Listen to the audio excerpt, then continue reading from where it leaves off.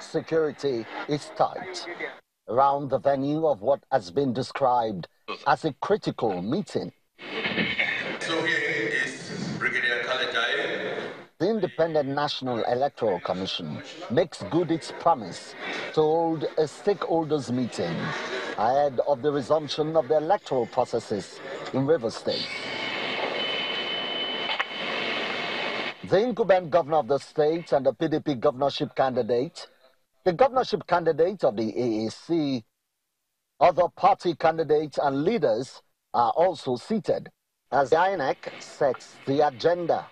The main objectives of this meeting is to brief you on the schedule of activities and timelines set by the Commission for the conclusion of the governorship and State House of Assembly elections and to solicit for your maximum cooperation, cooperation towards the success of this exercise.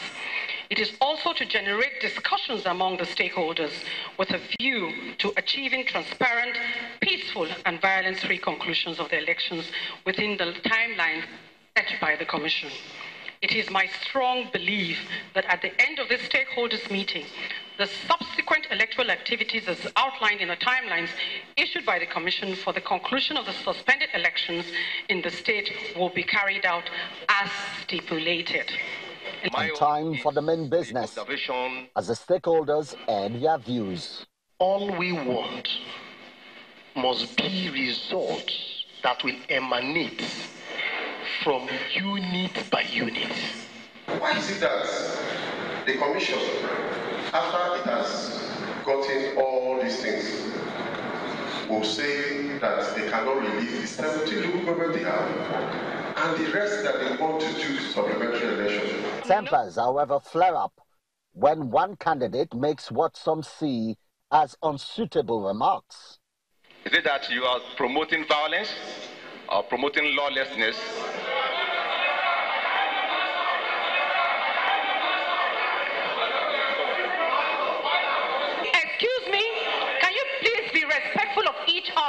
And the governor weighs in on the issue of electoral violence.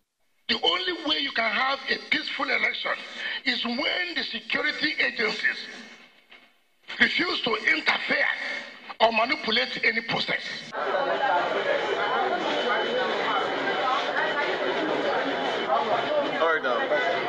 As the stakeholders meeting comes to an end, many view it as a big step towards the actual conclusion of the suspended electoral processes in the state.